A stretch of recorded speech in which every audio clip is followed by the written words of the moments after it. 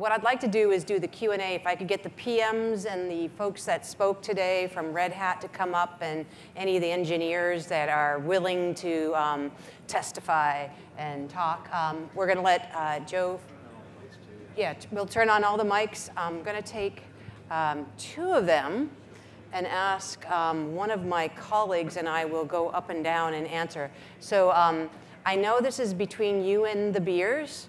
Um, but please, this is your opportunity to ask them any questions that might have come up today.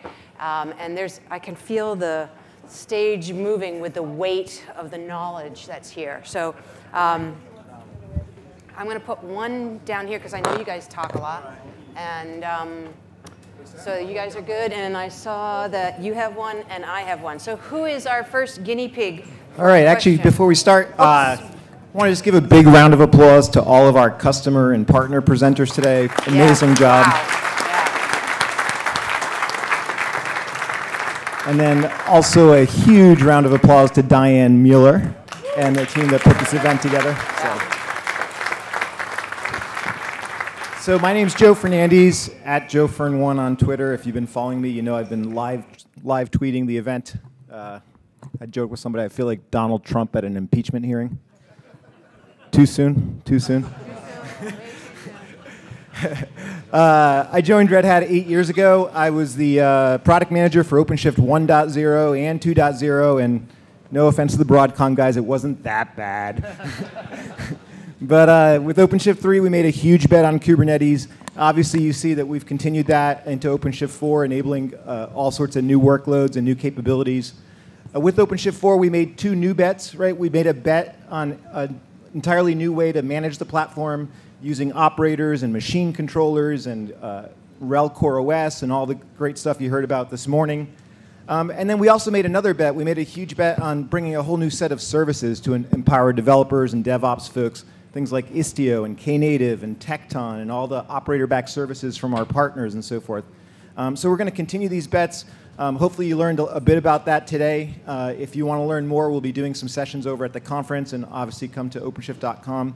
Uh, but at this point, we just want to open it up for questions. We have uh, many of our product managers and some of the engineers and others on the stage. So uh, if you have questions, just raise your hand, grab a mic, and we will uh, get it to the right person. Okay. Uh, for Jeremy Ader, um, I was, ah, there you go. Hi. I enjoyed your talk. Uh, big fan of operators. Um, I was paying particular attention to the part where you're telling me about the API for creating um, clusters. I, you showed us the CLI, actually, not the API. But I assume it looks like a traditional RPC-oriented API. You can use curl instead of the command line tool. yeah, okay. We so can use curl to interact with Red Hat. It seems to me you have snatched defeat from the jaws of victory. Um, why does the client not simply uh, use uh, a kubectl or whatever to create a, a, Kubernetes API object to define what he wants. In some some people have thought along those lines, including a, a kubectl plugin, but there's nothing productized at this point. So we, it, it may be possible, but it's just not just yet. Thank you. Yeah. For using OpenShift Container Platform in a public cloud, is there anything coming down the wire that would allow me to like, like run, install and manage the cluster myself, yet pay for it by the hour, as opposed to having, I think, in my talks with Red, with Red Hat for licensing, I had to pay for my peak for the entire year. So you want to install and manage OpenShift clusters yourself, but pay for it by the hour on yeah. any of the public clouds? Right yeah, be easier I, to sell. So like a consumption based. Yeah. So we we have uh, done work around sort of an hourly or consumption based uh, pricing model that could enable that. Um, we don't have that today. Uh, a lot of what we needed to do was uh, sort of enable some of the metering that would allow you to to actually uh, do that more effectively with the metering operator that you saw. I think came out in 4.2. That provides some of the underpinnings of that, but.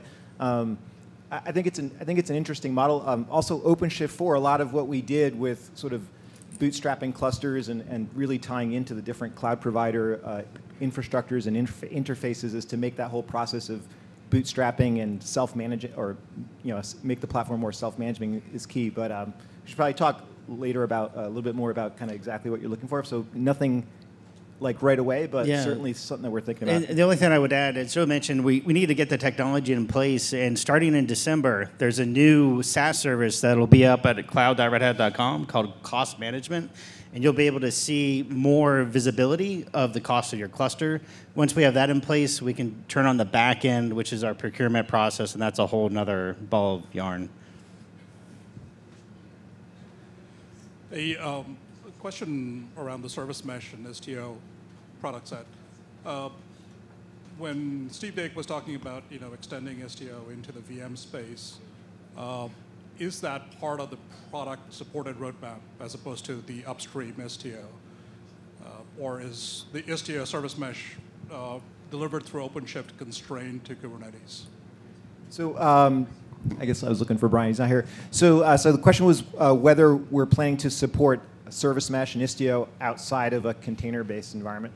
Um, right now, we don't have plans for that, right? So, um, so uh, OpenShift Service Mesh, which is generally available now, by the way, go out and, and you can use it with uh, OpenShift 4.2. Um, right now, it's included as a service with OpenShift, uh, so we don't actually uh, sell it separately. Uh, we also don't uh, support it today outside of a Kubernetes-based environment through OpenShift. Um, there are some interesting use cases, obviously, for uh, service mesh uh, with virtual machine-based environments and, and other non-Kubernetes environments. Um, it's not in our product plans to offer that as supported today, but it's, it's something that we do contribute to through the work uh, being done up- upstream that Steven and Brian uh, talked about uh, earlier today. So.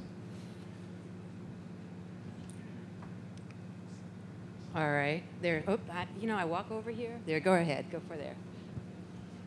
Uh, there's a lot of interest on KubeVirt. Uh, what's your position on that? We got our KubeVirt guy.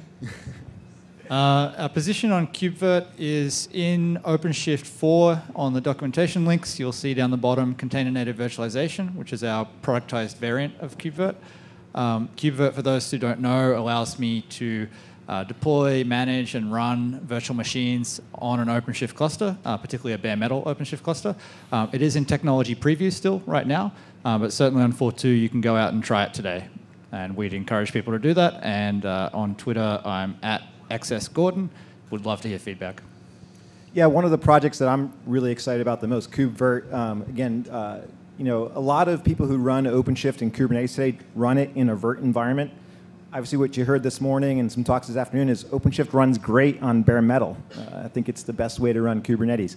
Uh, but when you run on bare metal, uh, what do you do with the workloads that still run in VMs? Well, you bring those VMs to Kubernetes instead of bringing Kubernetes uh, to VMs. And so that's the idea behind KubeVirt running a mix of uh, container and VM-based workloads, all managed with a Kubernetes control plane on a, on a shared platform. It's very cool. It's in developer preview right now. It's called uh, OpenShift uh, Container Native Virtualization. So hopefully everybody uh, here who's interested can go and try that out.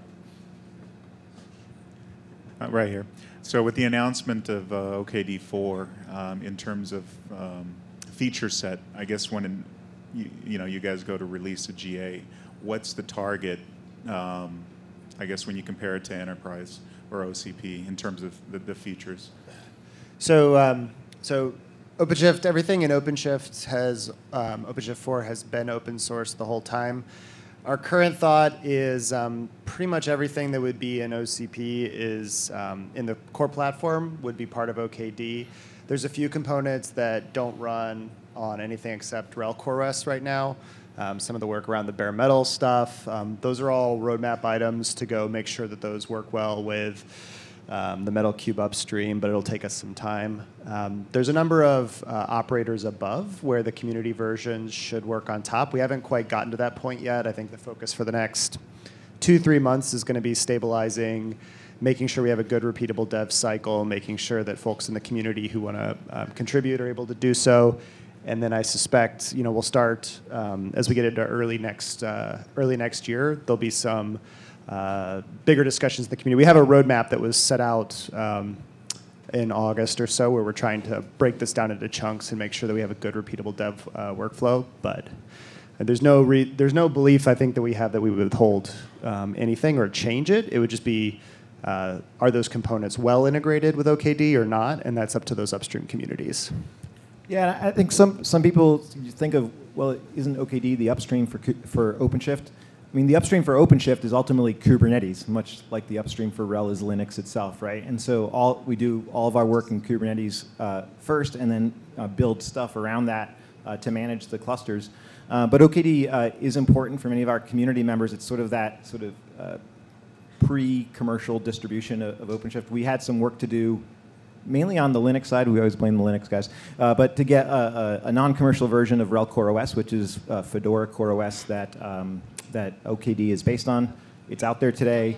And as, as it was in 3X, it will sort of uh, iterate and also be the place where we try out some new things uh, you know, before it comes into sort of a beta or dev preview uh, in the uh, in the commercial offering. Yeah, and I'll note that um, especially on the Fedora CoreOS side, Fedora CoreOS is driven by the Fedora community, and it's um, much more accelerated uh, than RHEL CoreOS is. RHEL CoreOS is actually co-designed and co-developed to be on the exact OCP life cycles. Um, we're just starting to go through the discussion of what that'll look like. Um, in the Fedora community and with OKD, um, but I would expect it to move um, in some areas uh, more quickly and that may mean that you know that changes how we release OKD um, based on things like cgroups v2, which is now in Fedora 31 or Fedora 30. I don't know which Fedora we're on. I can't tell. Um, and so that sort of um, progression, um, OKD will probably go through periods where we take on uh, things in the upstream communities that aren't fully baked yet because they're so um, such large changes. Uh, and uh, we haven't yet hit that first one, but it'll probably be the cgroups work. Hi. Uh, can, can, yeah, just a quick one. Um, when can we see the support for CSI snapshot driver? Say it again. The CSI snapshot driver CSI support. snapshots. Mike Barrett. So we're hoping to bring CSI snapshot in the 4.4 release, which would be the March-April timeframe. All right.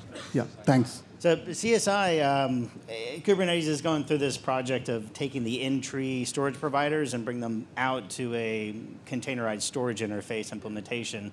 So a lot of the work is taking the existing in-tree devices like iSCSI, Fiber Channel, all the Elastic Block, Google Compute, all those storage that we support in Kubernetes, and re-instrumenting them out on the CSI interface.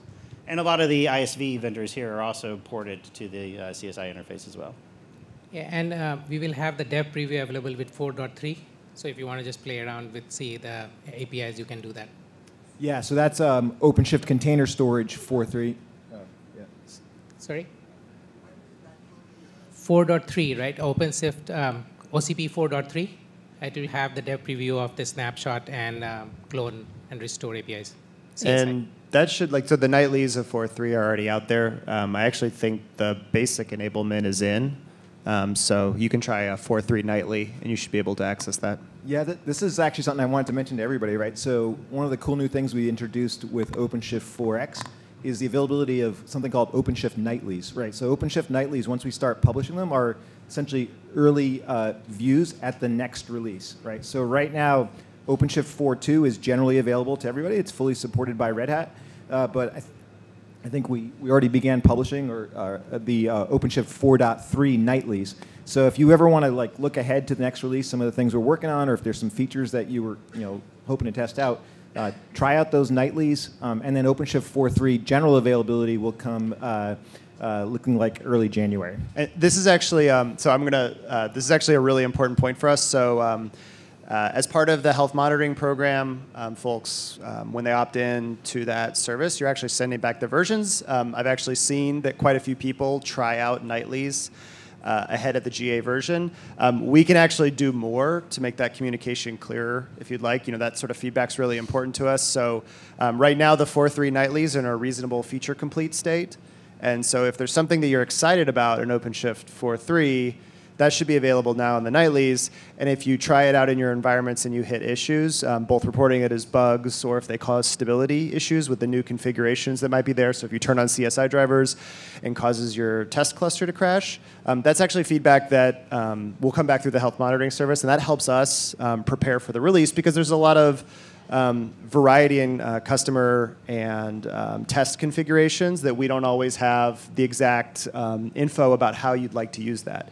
And so participating in the nightlies and opting in to the health data monitoring and sending us um, that usage data is actually incredibly valuable for us to support you better. And it's all exciting. Hi. Uh, just a quick question. I think there was a great discussion earlier this morning around digital transformation and how it's not just a technology problem. And after all, all these platforms that we are talking about from infrastructure standpoint is, is leading to business delivery, right? If there is no business delivery, there is no you know, meaning for, the, for these platforms. So is there any strategy around application development? I think we are accelerating the infrastructure cycle, but application development takes most of the time when it comes to business delivery. What are your thoughts from digital transformation standpoint and accelerating that cycle? I guess some of the work that we're doing with Knative, Service Mesh, Tekton, it's all really addressing some of the problems that you're talking about, right? It's really bringing some of this uh, uh, life cycle for application development to uh, a place, to a state where it's really uh, easy to do on top of Kubernetes, which traditionally has been challenging for an average developer to get started, right? This is something that, again, it's already embedded in the platform. So things like the developer console that we ship now with 4.2 and we continue to enhance in 4.3, they add to that so that you can start building applications using the console. You can deploy the application straight from the console without that much knowledge about the platform. Things like code-ready workspaces so that the IDE is integrated to the API on Kubernetes side, so you can deploy from there. And you can run the IDE in the browser already. Some of those things already, I'd say, addresses some of the challenges that you're having. I mean, is there a way to bring a business uh, person to the conversation? Is what my question is about. Yeah. You know, that's that's really the key because ultimately business is going to pay for this. We asked a question just one, one more time. You want to know how digital transformation uh, hooks into business lines? Uh, I think the, bo- uh, the more important point is from business standpoint, enterprise application development takes most of the cycle, if you will. Infrastructure is, yes, it's a foundational block, but I can accelerate 10% or 20% of this, but business delivery is really dependent on the enterprise application releases. So what is that we are talking about I'm not just talking about the developer focus, I'm more talking about from business focus standpoint. What is that, is there any strategy to bring that into a conversation from OpenShift standpoint? Yeah, I mean, I think um, those are conversations that, that we seek to have uh, with, with all our customers. Uh, I think uh, when you come to conferences like this, uh, you know, OpenShift Commons gatherings or Summit, and you hear customer talks, you know, sure, they'll talk about OpenShift and some features and capabilities uh, that they're excited about, but, you know, you know, more than ever, what they talk about is you know, the challenges of getting this working in their environment and showing business value to their customers. I think the, uh, the ExxonMobil team did an excellent job showing how, um, how they're providing real business value by accelerating uh, or enabling the collaboration between their data scientists and accelerating their ability to, to do machine learning and data science uh, on the platform. So it's not ultimately about the platform or even the developers who are building it. It's about the value that those things combined uh, provide to the business. And um, can we do a better job of bringing it into the conversation? We're, we're sure trying, and that's why we, are bringing uh, folks like Jabe and, and, uh, and the panel this morning uh, uh, to Red Hat to, to, to drive those non-product conversations, because ultimately, you know, based on just what customers are talking about, that's the, that's the biggest challenge is the people, the process, the cultural challenges. You know, I so I have some comments actually. The I, would say, starting with the, I question some of the assertions that you made about how it's really about development, because if you look at what the cost is of managing most of your portfolio, the, the cost of operations is dwarfing the cost of development in all cases. Because if it's not free to run things, then you just run the clock, it's eventually going to cost more right? That's the, that's the nature of a service. So unless you're shipping things cut on CDs, if you have to actually keep servers running, which is basically what we're building for you, then, then that, that cost will eventually dwarf it. The other thing I'd say, that this goes back to something that, that Clayton said on stage earlier, that we're essentially, in some ways, we're, we're part of your SRE with the emphasis on the E, right? So you're going to have to bring people to fill in the other parts of that, but we're building this platform together with our customers so that they can provide this reliable underpinning. And I'd say nothing transforms the development possibilities for your organization more than in improving your operations. Yeah, I think Andrew, I, just to clarify my question, I did not stress on the cost specifically. because op- I completely agree with you. Operations cost is much more than the development cost. It's the speed to market that I was talking about from business standpoint. All right. So, great question. Let's let's. Uh, So, ju- just one last thought. That like I agree, but the the way to reduce the speed to market is make doing the right thing the easy thing, so that you have these guardrails that allow your developers to make the right deso- de- decisions on the business, the domain that they're working on, instead of trying to configure all the random things for their platform.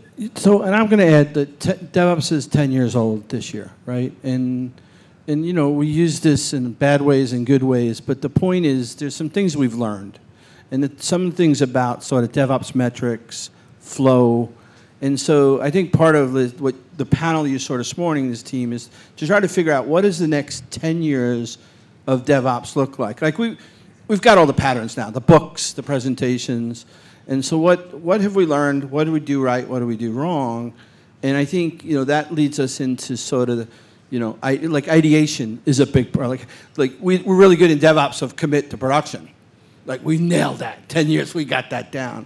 You know, other thing, and I'm not saying we're going to do this, definitely, but that's part of what Jay, myself, Kevin, and Andrew about is to try to figure out, like, what happened in DevOps in the, in the last 10 years? What does it look like in the next 10 years? So. Wonderful program today, ladies and gentlemen. Thank you very, very much. Scott Fulton with ZDNet. I sat in on a webinar uh, a couple of months back that had to do with uh, service mesh. It was not a Red Hat webinar, but there were several implementers in there. And one of the things they, they all agreed upon, and I thought was interesting, is they were implementing service mesh to the point where they all said, and they agreed on this, that they foresaw a time when, for the purposes of service discovery, they would no longer have to use DNS, that they could completely rely on their service mesh to deliver service discovery. I'm wondering if you folks think that that is a rational goal for service mesh, or whether you think there may be some danger in that. So I think anybody who tells you that you're never going to need anything that you currently use now and that you're going to be able to get rid of it is lying to you. Um, and so one of the things that I would say is um, I think the within a cluster, I can actually envision a lot of that sort of stuff. I mean, there's been a couple of talks even at KubeCon though of adding more service mesh, cap- uh, some of the capabilities at a lower level in Kubernetes that exist in Istio today, um, because Kubernetes wasn't designed as a we're going to build the basic primitives and then let, let everybody else solve the problems, but we want to work with the communities and find patterns that are generally applicable. I think the argument I would make would be that uh, the DNS system, or the domain name system, um, the DNS is always so awkward to say, the DNS is so broadly applicable to so many environments that I question anyone who believes that it will go away. Um, certainly, Service Mesh provides a ton of advantages when you think of it as an application interfacing layer. And you know, if there's one trend I think that we've seen is moving more and more of the things that, like we talked about guardrails. Service Mesh is a great guardrail because it allows you to use patterns and primitives that take common problems and make them the responsibility of a mature operations team um, versus being things that you expect every developer to understand the details of. I would say I, I, I could certainly see uh, service meshes growing, being stitched into many pieces, but I think you know we'll continue to have lots of points of integration, and that choice of how much or how little you use, I think will continue. Um, uh, quick question about Quay. Can you describe the difference between Quay versus Harbor?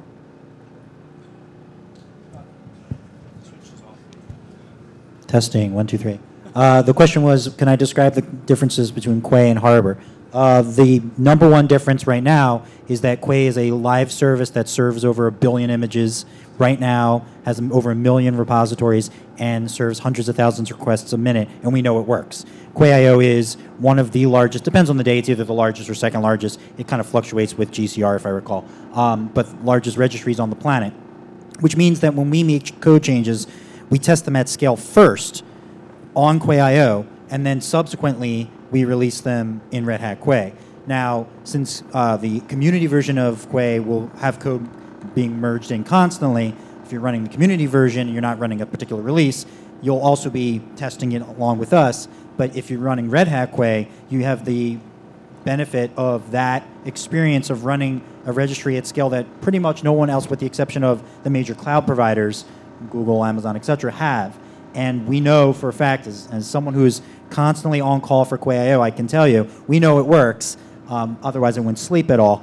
And um, that's a huge benefit. On top of that, um, Quay is also the only registry product on the market. And I mentioned this earlier, but we're the only registry product on the market that um, has a guarantee of backwards compatibility. So we, to this day, still support Docker uh, API version 1. So if you took a doc, Docker client, uh, Docker 0. Point, Docker 0.4, which you know came out in what 2013, and you were to try to push an image against a version of Quay with the right feature flag enabled right now, it would work, and then you could pull that image with the most modern version of Podman, and it would just work seamlessly. And that's part of our commitment to the enterprise space that no other registry product is really committed to. Um, whether or not they see the difficulty in doing so, I don't know.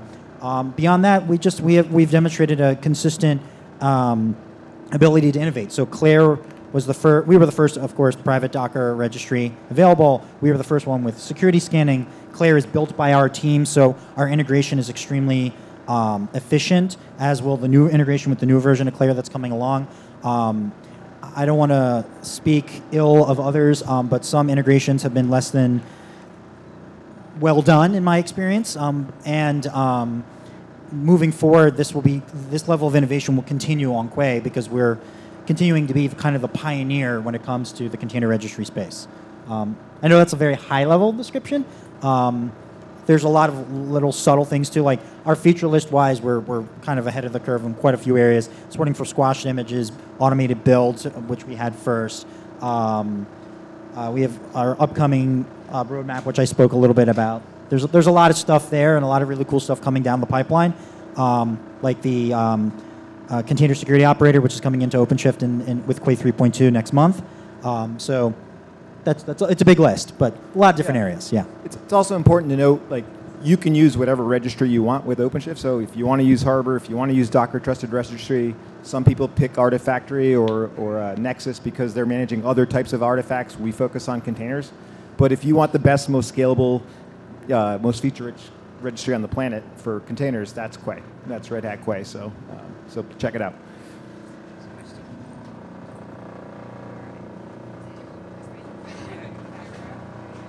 The boat is not going to explode, so I promise the boat won't explode. Hi, thank you. I'm like, uh, one of the couple of things that I've been playing around is around CNV or Kine, or uh, what's the keyword, I guess.